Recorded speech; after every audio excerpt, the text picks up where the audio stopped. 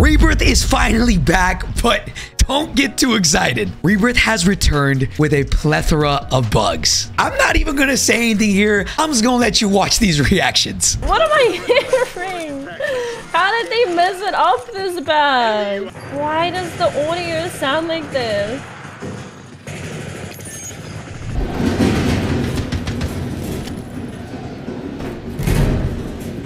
On me. Two. Down one. Down two. Got an AK. Don't worry, Booyah. I can't hear you. I don't know what's going on. I don't know what's going on. I would love to talk, but it sounds like I'm in a washing machine. I don't know what's going on. I swear I'm in a washing machine. It sounds like like there's like metal. Like the whole prison's made of metal. You don't hear that? Enemy advanced UAV overhead.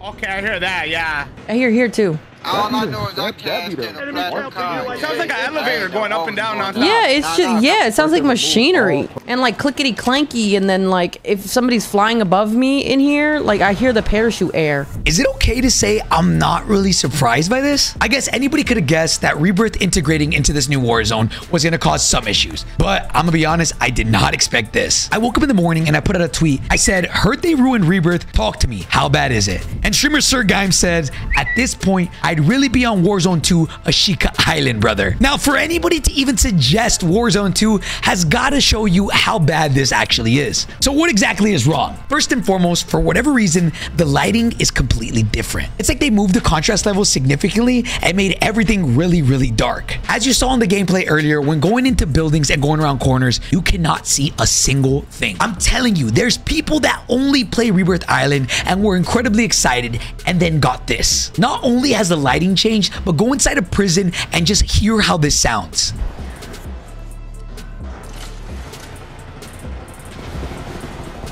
This generally sounds like they shrunk you down, put you in a washing machine, and started that up. Again, how this happened, I don't know, but I do have a theory. Around early October, Call of Duty put out a tweet that pretty much said that they're introducing spatial audio to Call of Duty. They specifically said, footstep audio now echoes and carries throughout hallways thanks to a work with Microsoft Project Acoustic. It will simulate the way the sound waves bounce and propagate through the world down. So watch this video and listen to this with headphones.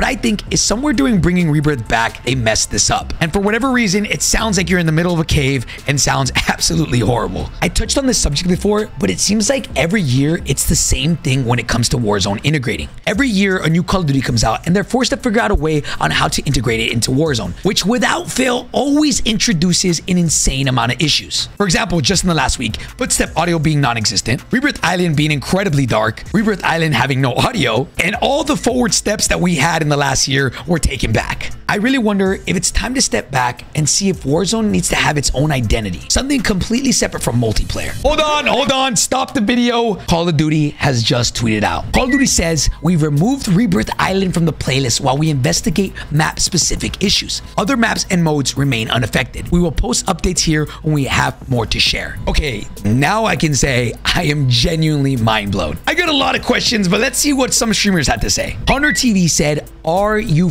serious, dog? YouTuber Tactical Brit said, our expectations for you were low, but holy... And popular news account Modern Warzone did the skull face. YouTuber Zyro said, bugs, bugs, bugs, and more bugs. Rebirth Island back for two hours to be removed. A timeline full of complaints, nerfs to the fun things within the first three days.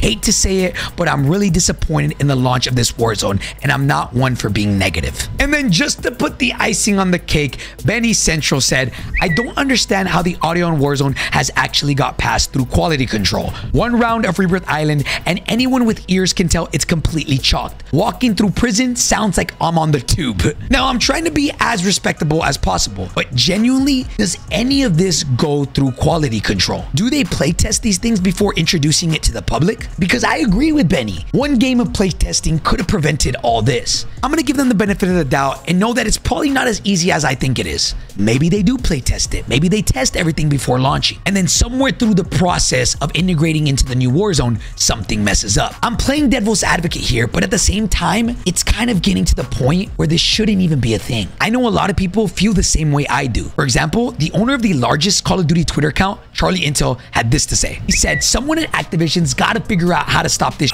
with Warzone every year. All these new features break half the game, wait six months before the entire game is fixed, and then redo it again. Unk is spitting. I really do hope that someone over there can figure this out because like clockwork, this has happened every single year on every single integration. With them making the decision to take Rebirth out, I want you guys in the comments to let me know, was this the right decision in your eyes? If the audio is that scuffed and if the visibility is that bad, was it the right move to take it out? I bet there's so many people that got off work and were hoping they were going to get to play Rebirth just to find out it was taken away. Me personally, I don't really know where I sit here, but I will say that it should have never gone out to begin with if they knew it was going to be this scuffed. Obviously, common sense would tell you that they didn't know, but that right there is an issue. Why was no one aware that these issues were happening? Was there no way to check? Was there nobody testing? I'm assuming that if you're still watching this video, it's because you genuinely enjoy Rebirth Island. There is genuinely a cult-like following to this map, and I'm going to be honest, a lot of people were let down down by this. On one hand, you do what they did. They find out it has issues, they take it down,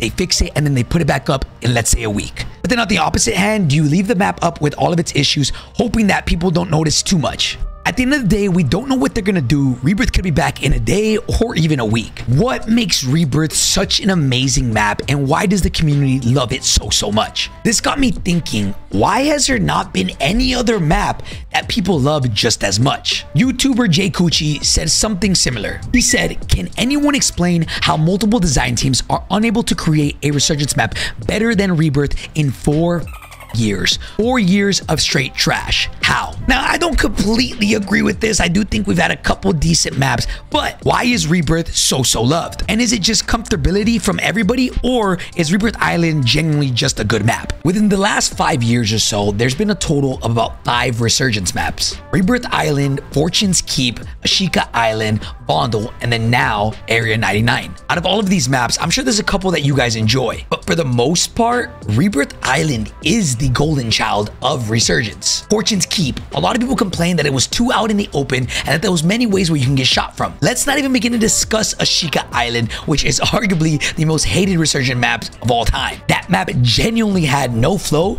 and was honestly really depressing to look at. Then Vondel, in my opinion, which was actually pretty good, a lot of people felt that it was too big and they were calling it a glorified BR map. Now Area 99 comes out and there's a lot of mixed reviews on it. Some people love it, including myself, but then some people hate it and say that it's third party after third party after third party. I do see where people are coming from, but I do think that we should give Area 99 a chance. Streamer Joe said, maybe a hot take here, but I wish they wouldn't have dropped Rebirth Island and given more people a chance to play Area 99 longer. We've played Rebirth for genuinely five years now, counting Blackout. Sometimes change is good for a little while. I personally agree with Joe here. At the end of the day, Rebirth is king, but I do hope to see a new map that comes out that people genuinely love just as much. Let me know what you guys think in the comments down below. And I guess the big question is, will we ever get a map that's better than Rebirth or will that just be the gold standard forever?